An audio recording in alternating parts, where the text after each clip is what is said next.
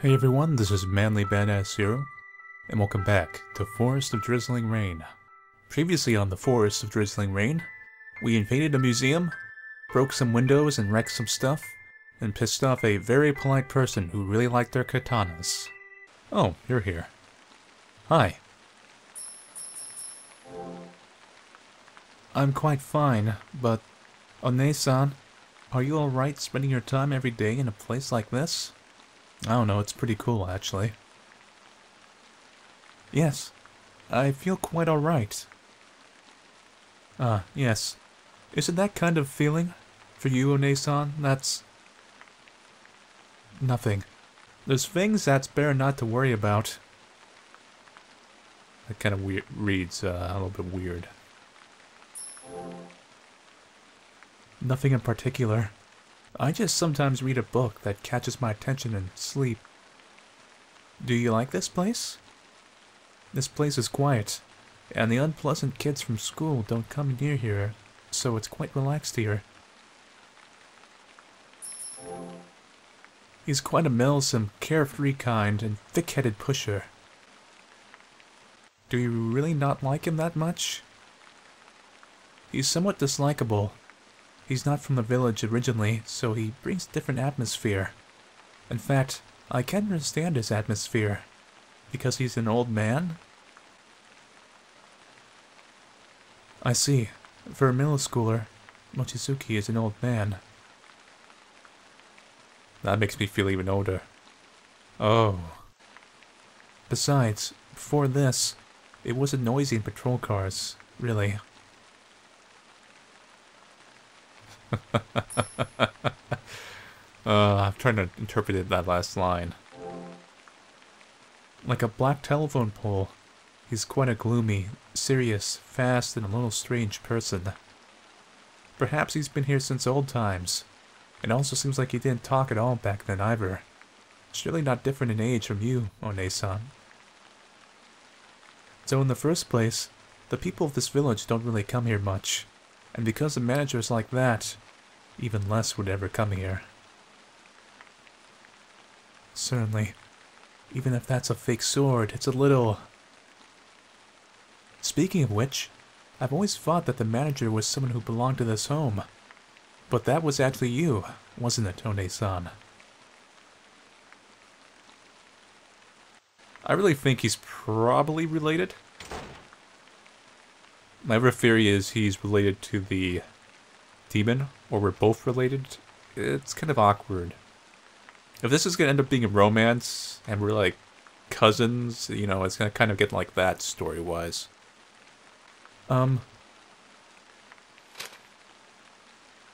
In the rain, going out is X. Yes, One of the cool touches, which I didn't really notice at first, was the... Because of all the pictures books being around and the little notes we found. You remember I mentioned like, oh, there's a lot of notes around here. And there's a lot of picture books. Is that actually makes sense now? Because they all belong to him because he's a... Uh, I don't know if he's a mute. I don't know if he can't talk or if he just chooses not to. But obviously he can only communicate in memos and picture books for now. Your investigation. How is it? Um, just a little more. There's still stuff I want to know about father and mother. Quickly, finish it. Go back.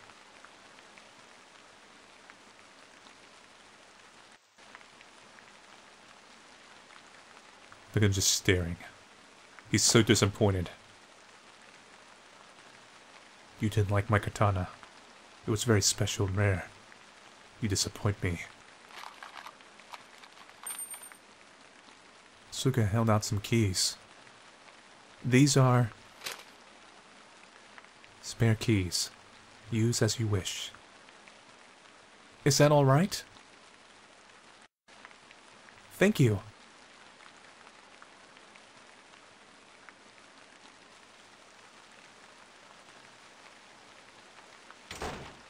the shipping again.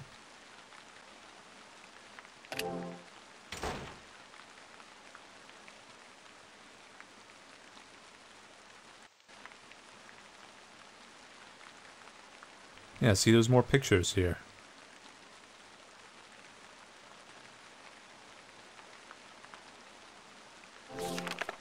Do not go into the forest. Because they're Kotori Obake likes children. If you go into the forest alone, you will be eaten. Even if you are not alone and end up making a promise with the Kotori Obake, you and your friends will then have to do sad, painful things. Don't ever think that that monster doesn't exist. No matter how much adults say that doesn't exist, if you are a child, you will be eaten by the Kotori Obake. So you must absolutely never go into the forest.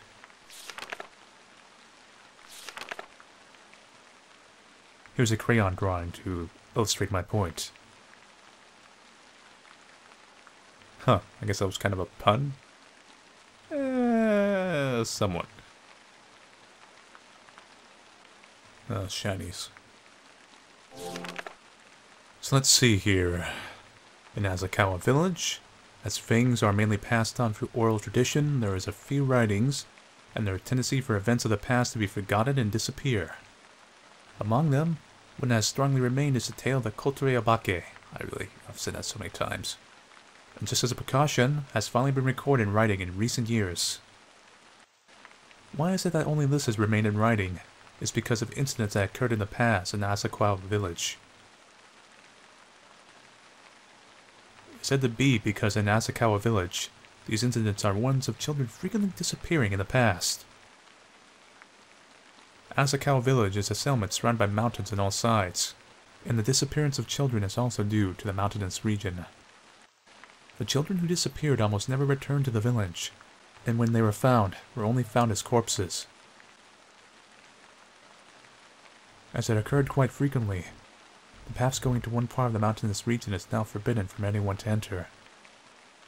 However, in recent years, due to the development of the village, there have recently been voices raised questioning the legend that made entry into the mountainous region forbidden.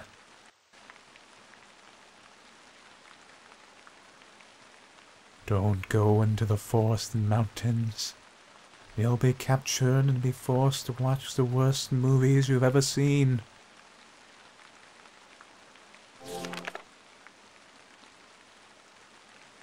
All four Transformers films back to back followed by the new Teenage Mutant Ninja Turtle movie.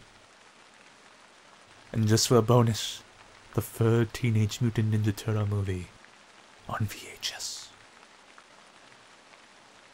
There was very little farming, and produce was provided by the village management.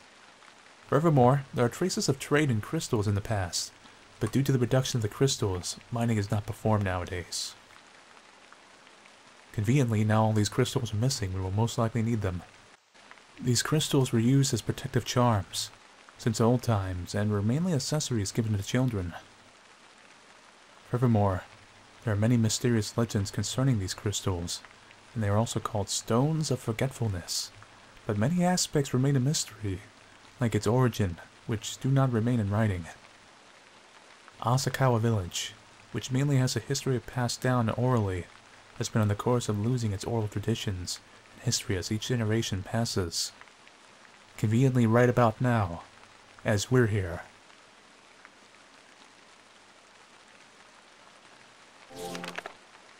In the prefecture, Asakawa village, it is said that from old times there was a popular spiritual dealer called Ogami-san. Concerning Ogami-san, only a tiny amount of writing has been confirmed. The existence of Ogami-san can be seen in all parts of the country, but in this village, those who are called that seem to mainly perform prayers. Just in this village, only a human who satisfies a certain restrictive condition is acknowledged as the Ogami-san. Those who become Ogami-san are adults, and the amount of maturation this person has a tendency to be hidden. Nowadays, the political power of the Ogami-san is small compared to the past, and it's said that their disappearance is only a matter of time. Once again, conveniently just as we arrive. Furthermore, the village management denies the existence of the Ogami-san, and an opposition can be seen between those who work to improve the village's image and the elderly who look to that with unease. Don't have 7-Eleven. I don't think this village is going anywhere.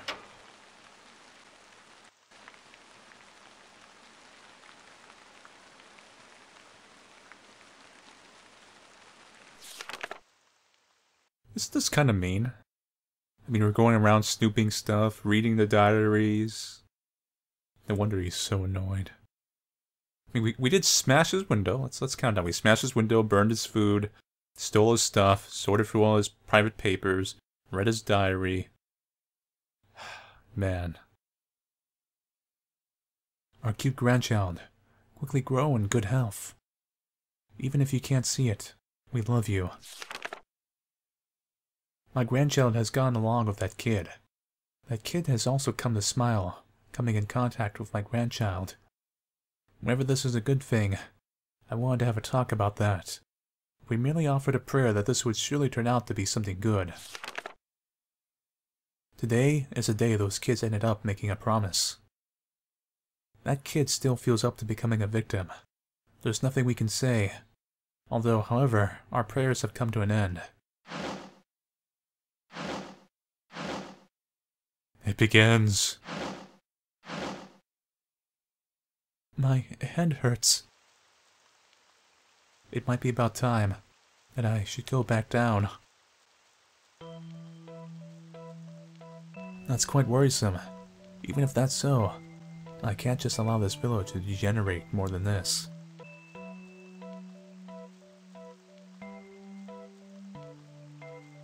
A person from the village. However, he is a quite unpleasant government official. Honestly, you see, there are no visitors to this place, right? I think there's no meaning to keeping this place here. You would understand that the most, right? That this place is of no asset to the village. In order to develop this village, we need to clear up the mountain. The existence of this museum poses a little problem for that.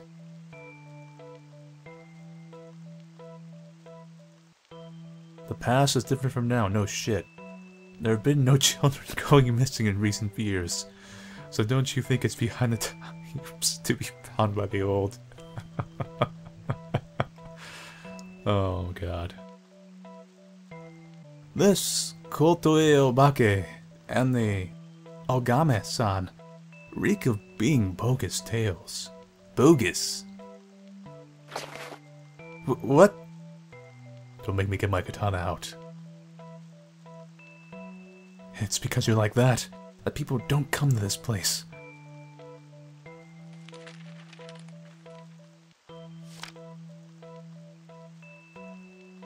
What? A memo, huh? Really? Since it's like that when talking with you. You don't seem very accommodating to our negotiations. But in the village council, we just made a resolution to demolish this place. This is no place to spread around something unscientific. It makes things seem too creepy. So even if you can't find a next job, I don't know. Well, there's a bigger problem for you than that, right? You know, this is one of those things where it's like very counterintuitive. Usually if a place has like a supernatural culture going on, they hold on to it as tight as possible because that's just tourist dollars. And if you want to make your town more distinct from the others, you want to invent some Bigfoot Godzilla legend thing, you know, because that brings in money.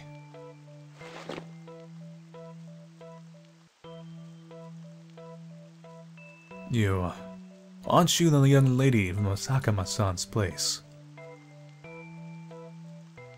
You can't just do that, coming in here and staying around like that. So, Sakuma-san would also support this proposal too. Go die! You Tanuki old man!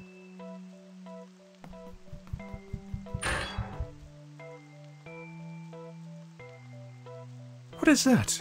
What a rude girl. This time, I'll tell complaint to that family.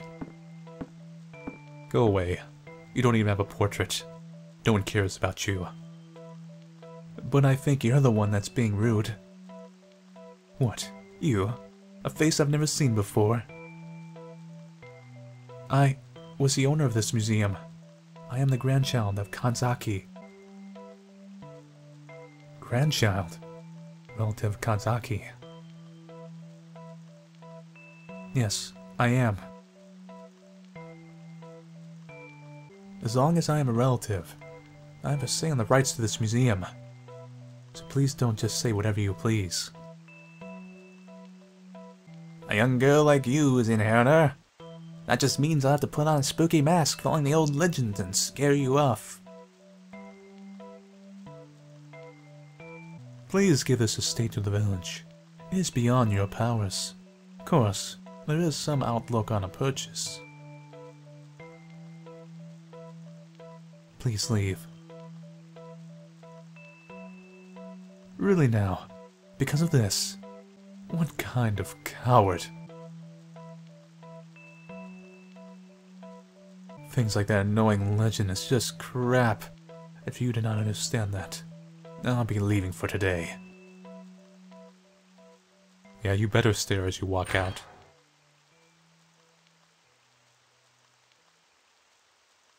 I'm sorry for just saying things on my own. It wasn't my true intention, so don't worry, Suga-san. However, like Sakuma-chan, I just somehow got really angry.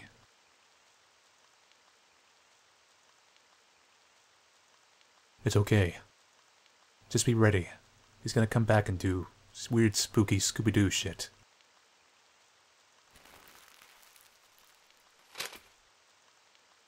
Thank you. Yes, don't worry. Dinner.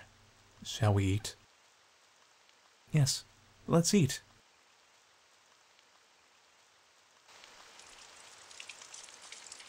Arf. Suga-san's cooking. Suga-san's cooking had the taste of ashes. But I was able to eat everything. Next time I'll make something for him. I can sense someone not liking my cooking. I'm upset inside. That's right, the plate. Next gen. Returning plate to kitchen simulator. Thanks for the good meal. No problem. Why is it that this feels so nostalgic? I heard you didn't like my cooking. Ah, it's nothing. No, um, just that Asuka-san too.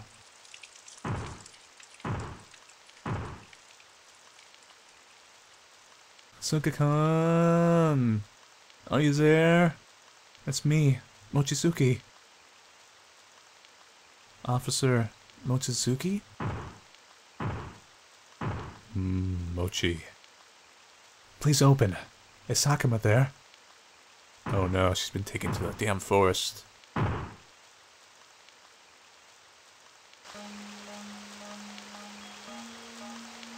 And so, Sakuma still has not come home, it seems. It looks like the rain will continue this evening. And like this, it would of course be quite dangerous. But that's right, she didn't once go outside of here. Suga-kun, excuse me, but we'd like to search around in the mansion, so could you lend me the keys?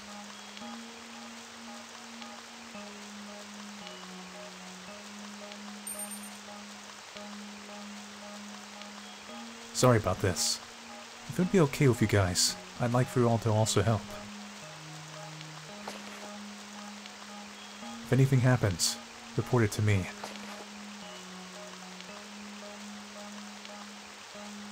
I'll also need to search. Don't do anything. No, I'll search, because I'm worried. You can't. But you can't expect me to do that.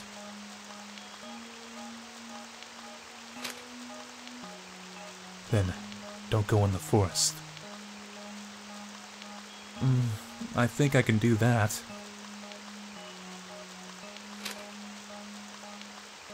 A protective charm. This is the necklace from that day.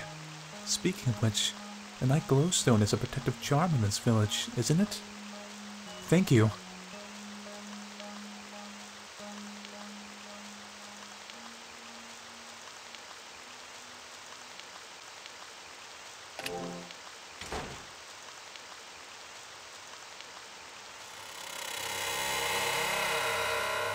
Oh, bother. See anything yet?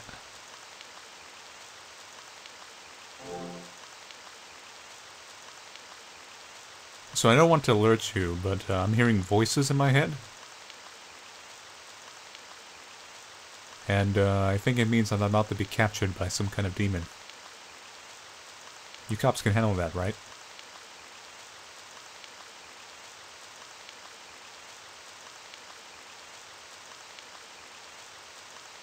Let's see.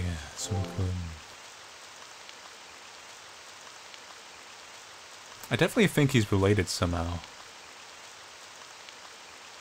Maybe he was adopted.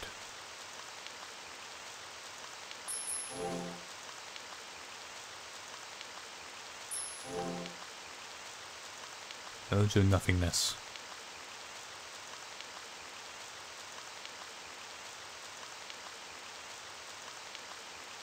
Oh, I see how this, this state works. So, they can't get to the forest for development because this mansion's in the way. And this mansion was probably built in the way specifically as a kind of like a toll booth, a guardian uh, shrine. So it's not really a mansion, it's more of like the guard post.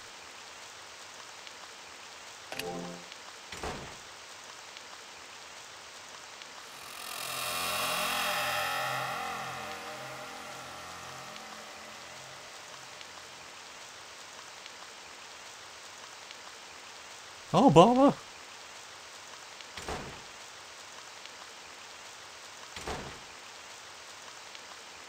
Huh, nothing happened here.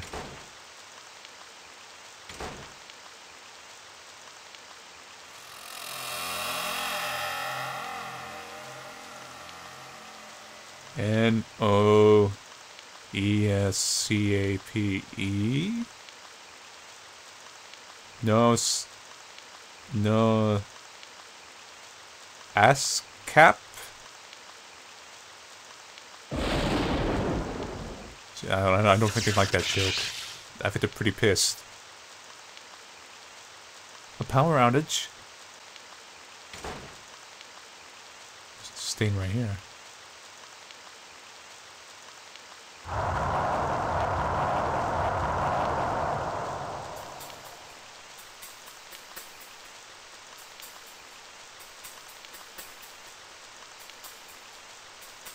You know, you don't have to type that slow. I know you're supposed to be trying to scare me, but it's just kind of annoying.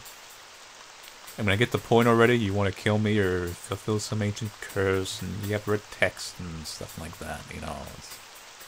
Just get this over with.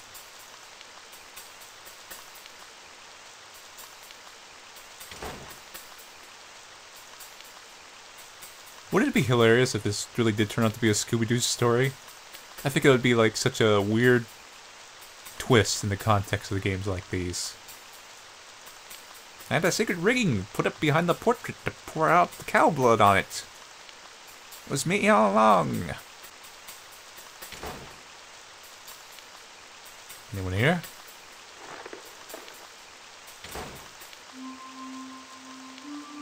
Won't open. Won't open. The inside. It's because of the inside. Are you trying to unleash the demon? Sakuma-chan, uh, everyone is looking for you. So, will we go back? Oh, crap. I knew you were trouble. Wait!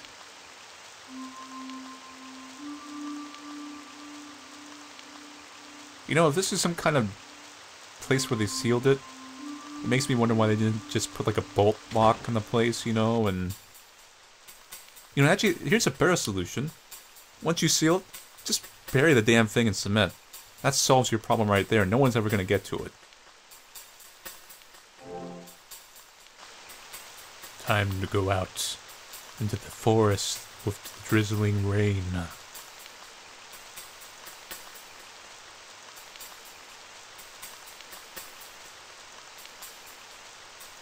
Oh, he's outside. Huh. There's a well back there, too. You know that was there.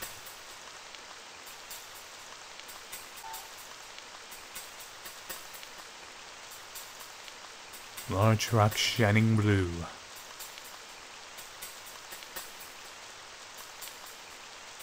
Gravestones.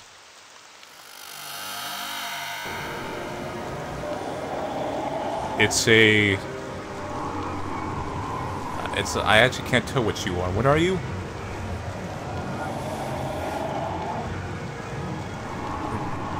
Are you a killer baby? No, you, he's pretty pissed.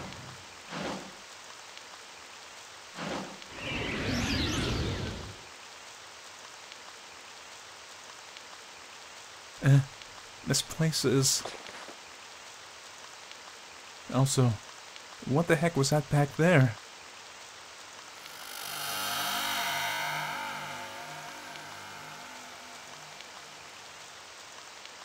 For now, I'll need to get moving. That was probably one of the kids that was murdered. I guess became a vengeful spirit under the control of the demon woman or whatever it is. So that's it for part 2 of Forest of Drizzling Rain. Well, we pretty much have our backstory and plot set up now. And we've also entered into the Forest of Drizzling Rain. And it seems like we're definitely going to be dealing with some... I guess you can call them killer babies or something. Like I said, I think they're vengeful spirits of the kids who now work for the being that's there. Anyway, so thank you all for watching and stay tuned for Forest of Drizzling Rain Part 3.